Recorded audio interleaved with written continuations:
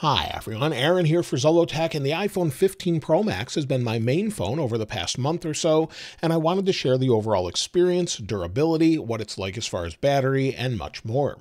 Now the overall design is something I've begun to really appreciate. Instead of having the really squared off edges, we have this nice curve over to the edges, so we still have some grip, but we also have a little bit more comfortable feeling when you're holding on to it. It's definitely noticeable, and I appreciate it more day to day.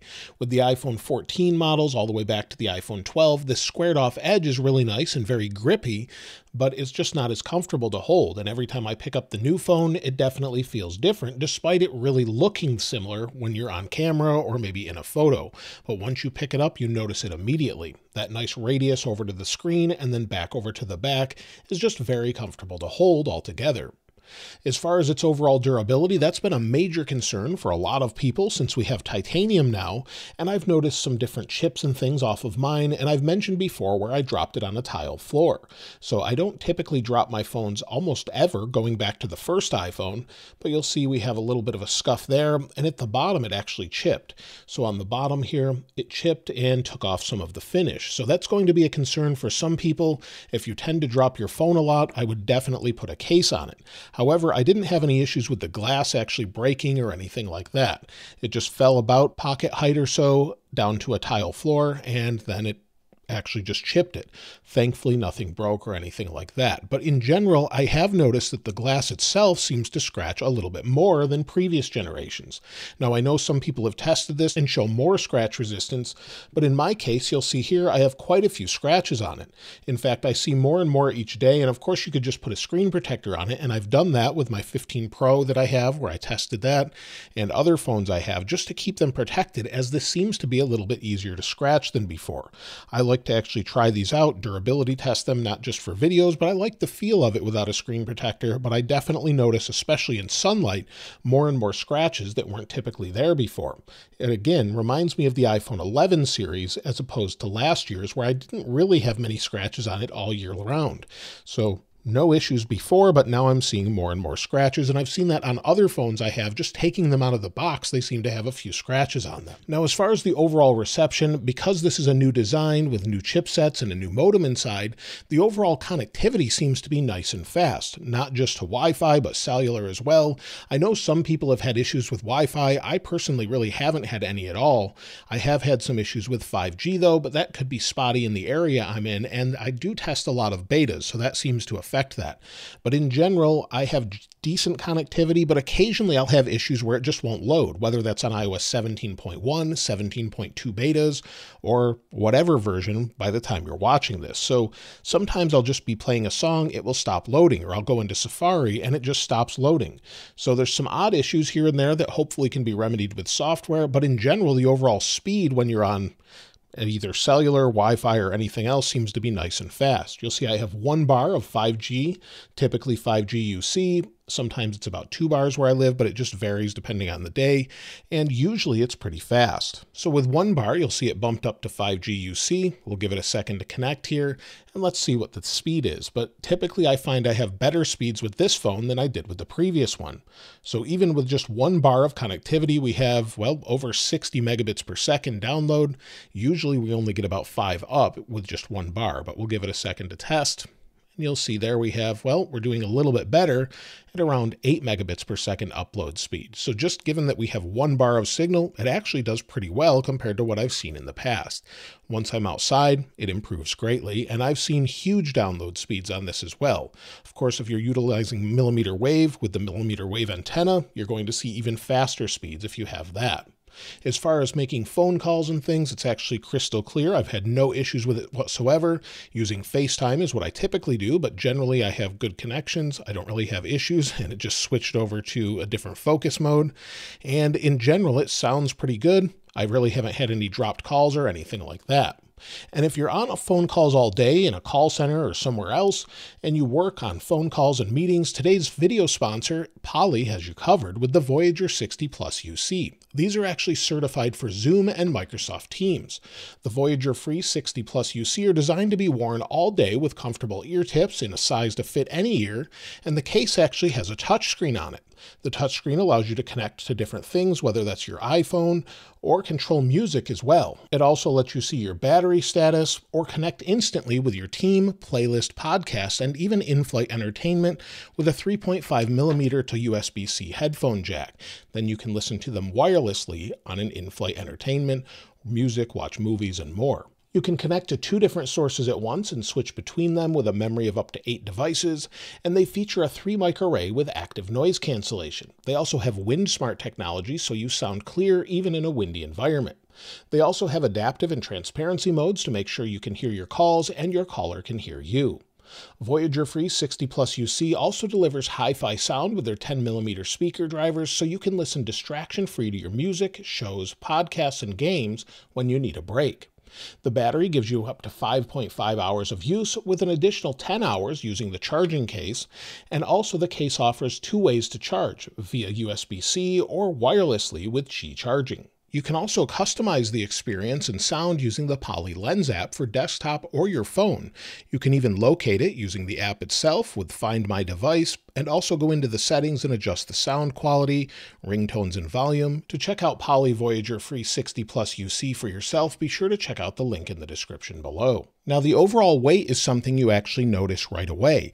If you've been using a 14 Pro Max, once you pick it up, not only will you recognize the rounded curves, but you'll also recognize the difference in weight. It definitely feels a little bit lighter, and especially if you're coming from a 14 Pro Max or 13 Pro Max. So that's a little bit of a nice change that we haven't had in a while.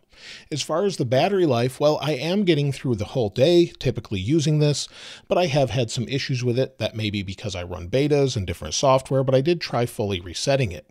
So currently, if we go back to battery health and charging, I'm at 100% capacity, and I have over 20 charge cycles at this point, as you can see here with Coconut Battery that shows the battery capacities and more. If we go into the last 10 days, these do not seem to be accurate, and that's one of my issues with this. I would say I'm getting about 5 to 6 hours of screen on time, which is less than I would expect. This is saying 9 hours and 6 minutes, but I definitely did not use this for 9 hours and 6 minutes. The next day it says 12 hours and 24 minutes. Now, typically, I'll get to bed by about 30% left on my phone. So before this, with the 14 Pro Max, when it came out, I'd have 50 to 60% left. Now I have about 30% left. If it's a day of heavy use of the phone, I'll have to charge it usually late at night around 8 p.m. or so. So I'm not really experiencing great battery life with it yet, but that could be due to software and hopefully will be fixed soon. Charging speeds are basically the same as before, so no real differences there. I wirelessly charge it, and when it comes to the display, I really appreciate this display, but it's not really any different than what we had before. I think the one thing that I do like about it more is the new standby modes that we have, where now with iOS 17.1, we can keep the display on all night if you want to use it on a bedside stand. So if I bring in a charger here, and we just place it on this, wirelessly, turn it to the landscape mode here, and if we lock it here, Give it a second, it switches over to standby, and then I can see this all night if I have that option set that way. So that's something I really appreciate. Not everyone will, but unfortunately it's only limited to always on display iPhones, but at least it's on the new ones, and the 14 Pro and Pro Max with always on displays as well. But it will stay on all the time, and it's great to have that at night, and just glance at it if you need to, and it turns to a red when it's dark out as well. But the overall display experience itself is basically the same we had with the 14 Pro Max. PW WM is basically the same. It doesn't bother me. It's about 480 or 460 hertz above 29% brightness. So that's the display flickering where you actually can't see this with your eyes, but at 240 frames per second, if it flickers a lot, it can really bother your eyes, cause eye strain. Some people actually feel nauseous from it, and it can cause a lot of issues that way. I thankfully haven't had that at all with the 15 Pro Max, so I'm not sensitive to this phone at all. Some others I am. Now, one of the big upgrades this year were the rear cameras with ProRes with log footage as well, and I do really think that they've improved these cameras quite a bit. We do have a new sensor, and the sensor seems to take really nice photos. I like what the processor's doing, making sure everything looks like it should in the photos that you see here, and everything just looks nice and clear, from video to photos and more, and using this as your main camera is something you could definitely do on YouTube. In fact, I actually did that with video with ProRes I made a little camera rig I'll show in a different video, but with ProRes, with an external recorder, it's super fast to get the footage off, plug it into USB-C, and that's something I really appreciate on this phone. That's one of the major upgrades with that USB-C port. Getting footage off the phone if you're recording in ProRes or ProRes Log makes it super fast, and it just looks great overall. The footage to many people is indistinguishable from a cinema camera on YouTube, so you've seen probably many tests at this point, but in general, I'm very happy with the camera overall. Now, as far as new features, well, we do have the action button, and honestly, I set it my phone to silent, and then I set the action button to the flashlight. And other than testing out some of the new features, I put it back to flashlight and I haven't touched it since. I think it's in a little awkward position here, high up on the phone, but it's not much of an issue. And I do find that I use it here instead of maybe going to the lock screen and pressing it here, where I did before but I am used to doing this, so maybe I'll set it to a shortcut and have it do more functions. But Apple recently updated it to have the translate feature as well, which is really nice. So that's in iOS 17.2, so depending on when you're watching this video, it's either in beta or out to the public. But with translate, we can just translate using this. We've got a really nice animation there, and it works well if you want to use it for translate. So they're adding more functionality to it, and I really like this new user interface. With daily use, if they really update this interface over time, this makes me think they're working on something maybe with iOS 18 that brings different changes. We've seen some new waveforms here with live activities. We're seeing changes with that standby mode. Hopefully we get some sort of update in the future updates. The speakers sound really good. In fact, compared to the 14 Pro Max, I'd say they're better and more clear. So they're just as loud, about equally as loud, but they sound clearer to me and cleaner sounding. So just using those in general, I've been pretty happy with them. As far as the overall speed and performance, well, it feels pretty much like I'm using a 14 Pro Max. I don't really do things that are super intensive. Typically, I'm listening to music, I'm using YouTube, I'm using maybe Safari or going into YouTube Studio, using it for email, the camera, and more. I don't play games on the phone, but once those new games come out that can utilize the processor, I'll probably try those out just to see what they're like on here. You can easily plug this into USB-C, plug it into a monitor or TV via HDMI, and actually play this with a controller remotely and use this on your display. So you could play Call of Duty Mobile or something else, which is something that's great. You could charge at the same time and more. So I definitely will be trying that out a little bit more as the year goes on and those games are released. With the launch of the iPhone 15 models, many people experience the phones getting overly hot to the point where you could barely pick them up or touch them because the back was so warm. Apple patched this with iOS 17.0.3 and fixed that issue in general. Now, it will warm up a little bit if you're doing intensive processes, charging, things like that. That's completely normal, but it should never be so hot that you can't touch it or give you the actual overheat message on the display. Thankfully, I've never run into that, but one area I have noticed it gets overly hot is when I'm wirelessly charging in my Audi. If you have a German car, it seems, Audi or specifically BMW, where Apple actually acknowledged this, this, it gets so hot that in some cases in BMWs, it ruins the NFC chip so you can no longer use your phone as the key. Apple's acknowledged this and hopefully fixes this in the future, but for some reason it just gets incredibly hot. If I use an Android phone in the same wireless charger, I don't experience that issue. So it's something they probably could fix with software where it recognizes the situation and just limits the power overall.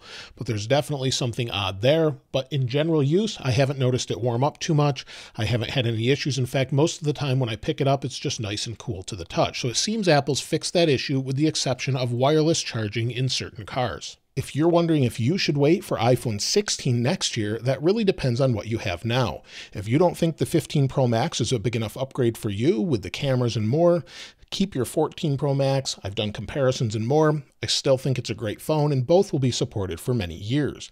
Eight years at this point with the latest updates on some phones, such as the iPhone 6S and 6S Plus. So if you want to wait next year, we're expecting some even bigger changes, and maybe then we'll get a full redesign, or maybe something that makes it look a little bit different with the camera bump and more.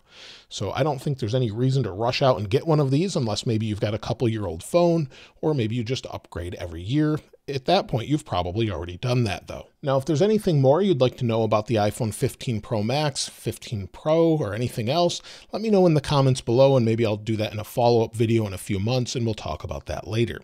If you'd like to get your hands on this wallpaper, I'll link it in the description like I normally do. And if you haven't subscribed already, please subscribe. And if you enjoyed the video, please give it a like. As always, thanks for watching. This is Aaron. I'll see you next time.